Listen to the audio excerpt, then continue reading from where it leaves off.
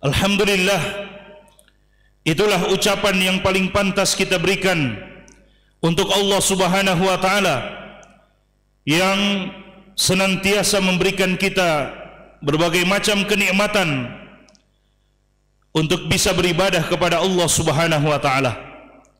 Tidak ada kata yang paling pantas melainkan pujian-pujian untuk Allah Subhanahu wa taala. Meskipun pujian itu pun belum sempurna rasanya kita ucapkan untuk Allah Subhanahu wa taala. Karena Allah Subhanahu wa taala zat yang paling pantas untuk dipuji dengan pujian yang termulia. Salawat dan salam kita haturkan kepada baginda Rasulullah sallallahu alaihi wasallam kepada keluarga beliau, para sahabat dan orang-orang yang senantiasa mengikuti mereka dengan baik. Jemaah sidang Jumat yang dimuliakan oleh Allah Subhanahu wa taala. Di dalam kehidupan dunia ini semua yang kita lakukan dan semua yang kita ucapkan kelak pada hari kiamat di hadapan Allah Subhanahu wa taala akan kita pertanggungjawabkan semuanya.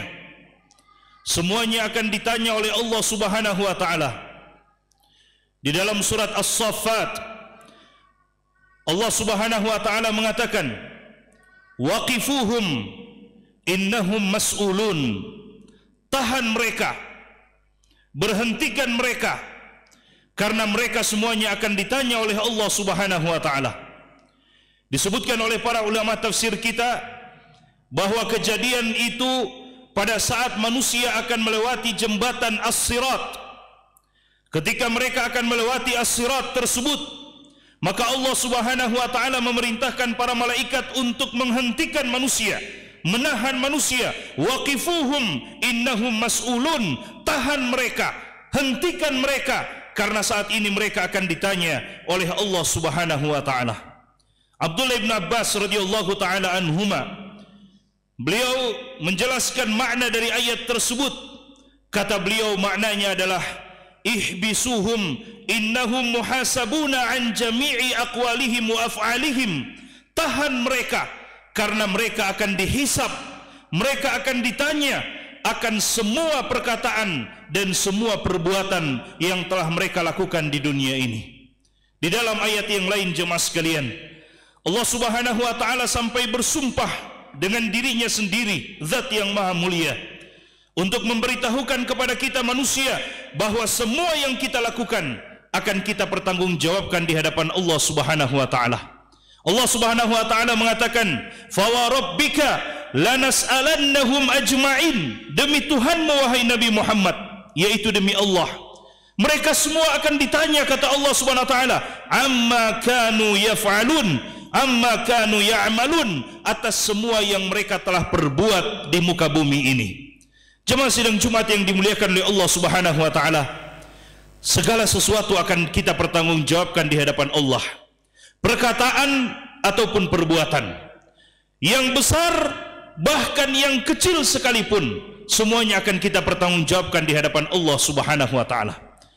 Suatu ketika Rasulullah sallallahu alaihi wa alihi wasallam keluar bersama dengan Abu Bakar dan Umar bin Khattab radhiyallahu taala anhuma. Mereka bertiga bertamu ke salah satu sahabat yaitu Jabir bin Abdullah radhiyallahu taala anhum jami'an. Rasulullah bersama dengan Abu Bakar dan Umar bertamu ke rumahnya Jabir bin Abdullah. Lalu kemudian jemaah sekalian, Jabir bin Abdullah menghidangkan untuk tamu-tamu yang mulia ini menghidangkan beberapa kurma, beberapa butir kurma dan juga air sebagai hidangan untuk tamu-tamu yang mulia tersebut. Nabi SAW mencicipinya bersama dengan Abu Bakar dan Umar. Dan setelah Nabi SAW memakan beberapa butir kurma, kemudian minum air yang telah disediakan lalu kemudian Nabi sallallahu alaihi wasallam mengatakan kepada Abu Bakar dan Umar sesungguhnya makanan yang kita makan sekarang minuman yang kita minum sekarang akan Allah Subhanahu wa taala tanyakan pada hari kiamat kelak akan Allah Subhanahu wa taala mintakan pertanggungjawabannya pada hari kiamat kelak jemaah sidang Jumat yang dimuliakan oleh Allah Subhanahu wa taala yang kecil pun akan Allah Subhanahu wa taala tanya. Orang-orang pada hari kiamat jemaah sekalian yang telah melakukan perjanjian dengan Allah Subhanahu wa taala, perjanjian hamba dengan Allah, bahkan perjanjian antara sesama hamba Allah Subhanahu wa taala yang telah mereka buat, semuanya akan mereka pertanggungjawabkan di hadapan Allah Subhanahu wa taala.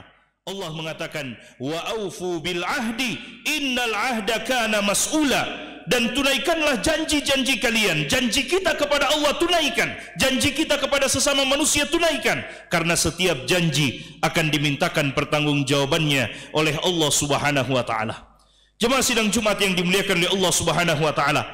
Bahkan anggota tubuh kita jasad kita anggota tubuh kita, tangan kita, kaki kita, mata kita, bahkan sampai hati kita semuanya akan Allah Subhanahu wa taala mintakan pertanggungjawabannya kemana dan untuk apa kita gunakan. Allah Subhanahu wa taala mengatakan inna sam'a wal basara wal fuada kullu ulaika kana anhu mas'ula. Sesungguhnya pendengaran penglihatan bahkan sampai dengan hati semuanya akan ditanya oleh Allah Subhanahu wa taala untuk apa kita menggunakannya.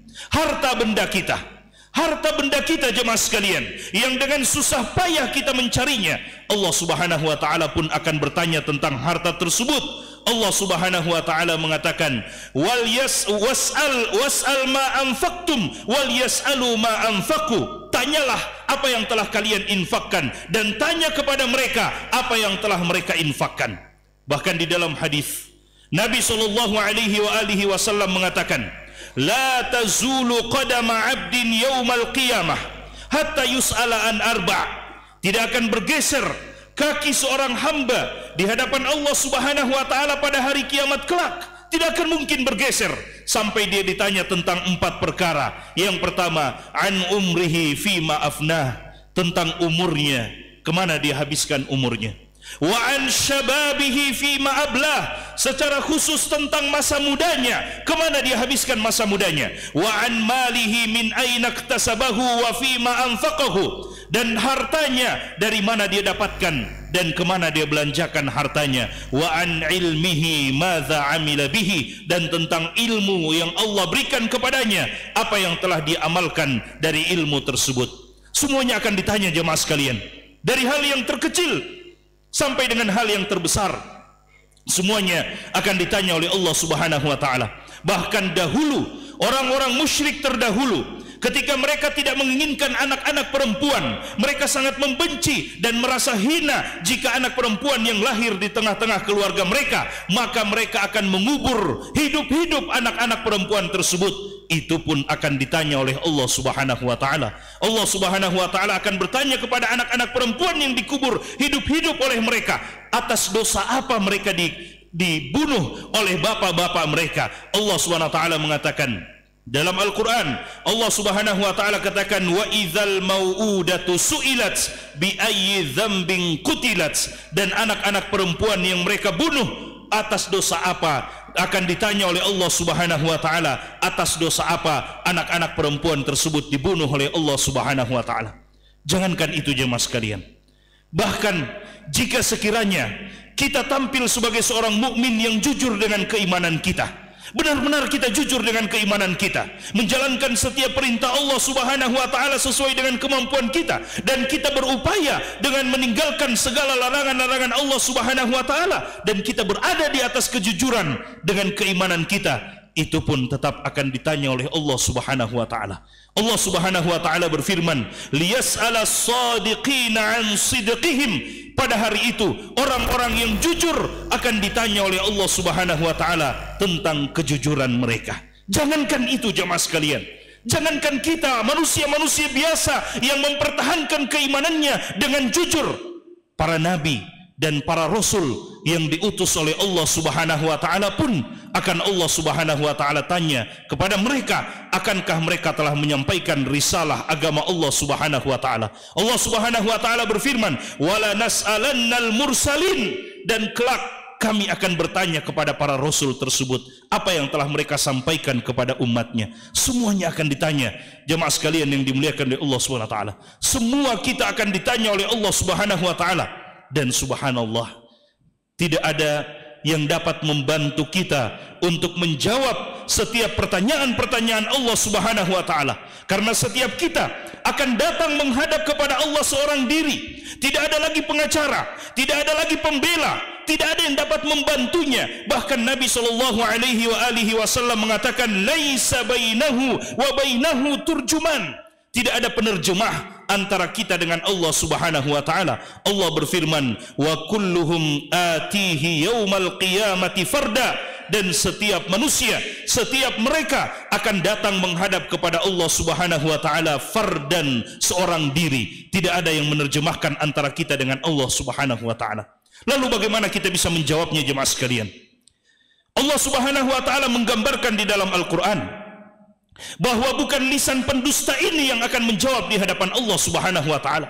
Tapi seluruh anggota tubuh kita akan dibuat berbicara oleh Allah Subhanahu wa taala untuk menjawab apa yang telah kita gunakan dengan anggota tubuh kita dan apa yang telah kita perbuat di muka bumi ini. Apa yang telah kita katakan dengan lisan kita semuanya akan dibuat berbicara untuk menjawab pertanyaan-pertanyaan Allah Subhanahu wa taala Allah Subhanahu wa taala berfirman, "Al-yauma naktimu 'ala al-yauma naktimu 'ala afwahihim wa tukallimuna aydihim wa tashhadu arjuluhum bima kanu yaksibun." Pada hari ini kami tutup mulut mereka dan yang akan berbicara adalah tangan-tangan mereka, yang akan bersaksi adalah kaki-kaki mereka atas apa yang telah mereka lakukan di muka bumi. Bahkan kulit yang hari ini mungkin kita merawatnya dengan sangat baik pada hari kiamat kelak mereka justru akan bersaksi di hadapan Allah Subhanahu wa taala. Pada hari ketika orang-orang kafir dibakar di dalam neraka dimasukkan ke dalam neraka Allah Subhanahu wa taala mengatakan pada hari itu mereka akan berbicara dengan kulit mereka sendiri. Wa qalu li juludihim lima syahidtum alaina? Qalu antaqana Allahu allazi antaqa kulla syai mereka mengatakan dan berbicara kepada kulit mereka sendiri kenapa kalian bersaksi di hadapan Allah Subhanahu wa taala untuk menjatuhkan kami ke dalam api neraka ini? Maka kulit-kulit mereka akan berbicara. Kami dibuat bisa berbicara oleh zat yang membuat segala sesuatu bisa berbicara atas kehendaknya. Jemaah sidang Jumat yang dimuliakan oleh Allah Subhanahu wa taala tidak ada tempat untuk kita berlari bersembunyi dari Allah Subhanahu wa taala di dunia apalagi di akhirat Allah Subhanahu wa taala. Maka amalan-amalan perbuatan kita sekarang itulah yang kita upayakan sekarang. Itu pula yang akan menentukan jawaban kita di akhirat Allah Subhanahu wa taala. Apa yang kita lakukan dan kita usahakan sekarang dengan berbagai macam bentuk usaha dan ibadah yang telah kita lakukan. Inna sa'yakum lasyatta kata Allah Subhanahu wa taala sungguh usaha-usaha ibadah kalian itu beraneka ragam bermacam-macam. Itu semua yang akan menentukan jawaban kita di hadapan Allah Subhanahu wa taala. Maka jadilah orang yang cerdas orang yang cerdas yang telah dikatakan oleh Nabi sallallahu alaihi wa alihi wasallam dalam hadis yang dihasankan oleh sebahagian para ulama dan dilemahkan oleh sebahagian ulama yang lainnya. Nabi sallallahu alaihi wa alihi wasallam mengatakan, "Al-kayyis man dana nafsahu wa amila lima ba'dal maut." Orang yang cerdas itu adalah orang yang senantiasa memperbaiki hidupnya, orang yang senantiasa membaguskan ibadahnya kepada Allah Subhanahu wa taala. Orang yang senantiasa bermuhasabah dan dia senantiasa beramal ibadah untuk mempersiapkan jawaban terbaik atas apa yang datang setelah kematiannya. Jemaah sidang Jumat yang dimuliakan oleh Allah Subhanahu wa taala. Mudah-mudahan Allah Subhanahu wa taala senantiasa memudahkan kita dan membimbing kita untuk melakukan yang terbaik untuk berucap yang terbaik karena kelak semuanya akan ditanya oleh Allah Subhanahu wa taala Suatu ketika Al-Imam Al-Fudail bin Iyad rahimahullahu taala berjumpa dengan seorang lelaki tua. Dan lelaki tua ini tidak dalam keadaan ibadah kepada Allah Subhanahu wa taala. Padahal umurnya sudah sangat tua hampir-hampir dia akan dipanggil oleh Allah Subhanahu wa taala. Namun dia berada dalam kelalaian. Maka terpanggillah Fudail bin Iyad untuk memberikan nasihat kepada lelaki tua tadi dan ini menjadi pelajaran buat kita jemaah sekalian. Apa-apa yang telah berlalu kelalaian kita yang telah berlalu jemaah sekalian segala itu akan dimintakan pertanggungjawabannya oleh Allah Subhanahu wa taala. Namun jika kita perbaiki apa yang tersisa dari kehidupan kita maka mudah-mudahan apa yang telah berlalu akan Allah Subhanahu wa taala perbaiki pula. Fudail bin Iyad datang kepada lelaki tua tersebut memberikan salam kepadanya dan dijawablah salam Fudail bin Iyad Lalu kemudian Fudail bin Iyad mengatakan, "Ya hadza kam madha min umrika?" Wahai saudaraku, sudah berapa umurmu yang berlalu? Berapa umurmu sekarang? Sehingga engkau tidak segera berbuat ketaatan kepada Allah Subhanahu wa taala. Berapa umurmu sekarang? Maka lelaki itu mengatakan, Situna aman ya imam. Umurku sekarang 60 tahun wahai imam.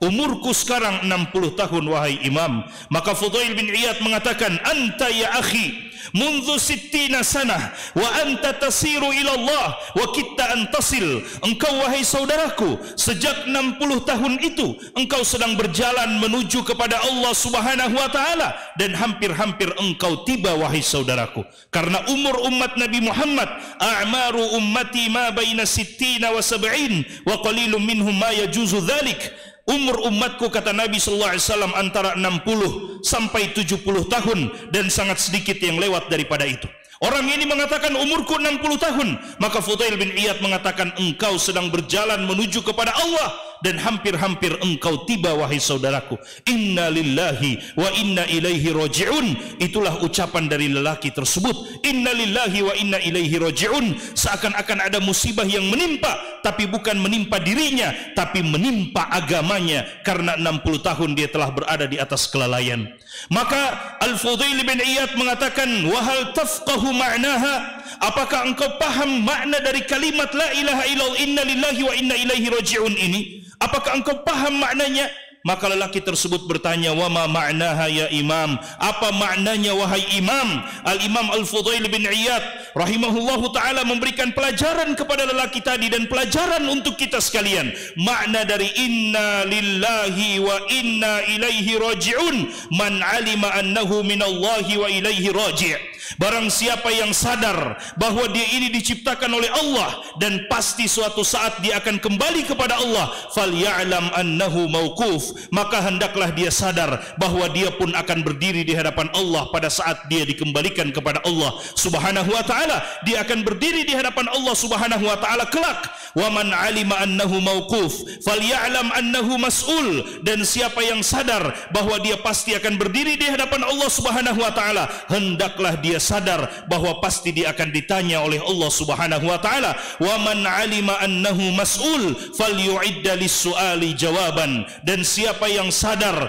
bahawa dia pasti akan ditanya oleh Allah Subhanahu wa taala maka hendaklah dia mempersiapkan jawaban atas pertanyaan-pertanyaan tersebut Orang ini kemudian mengatakan kepada Fudail bin Iyad, "Wa mal hilah ya Imam? Apa yang harus aku lakukan sekarang wahai Imam? Rasanya sudah sangat lama aku berada di atas kelalaian. Jika Allah Subhanahu wa taala bertanya tentang kelalaian-kelalaian tersebut, aku tidak mampu menjawabnya." Tubuhku tidak mampu menjawabnya. Lisanku tidak mampu menjawabnya. Mataku, tanganku, kakiku semuanya Tidak mampu menjawab. Rasanya aku sudah banyak berada di atas kelalaian. Wa malhilah ya imam? Apa yang harus aku lakukan wahai imam? Maka Fudail bin Iyad mengatakan Sahlah, sangat mudah apa yang harus kamu lakukan. Apa itu jemaah sekalian?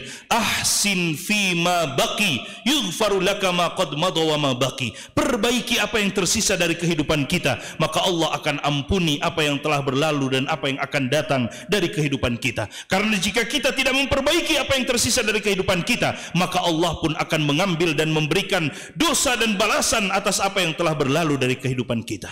Rasulullah sallallahu alaihi wasallam mengatakan, "Innamal a'malu bil khawatim." Semua amalan-amalan itu dinilai dari akhir-akhir amalan tersebut maka hendaklah setiap saat kita memperbaiki apa yang tersisa dari kehidupan kita jemaah sekalian.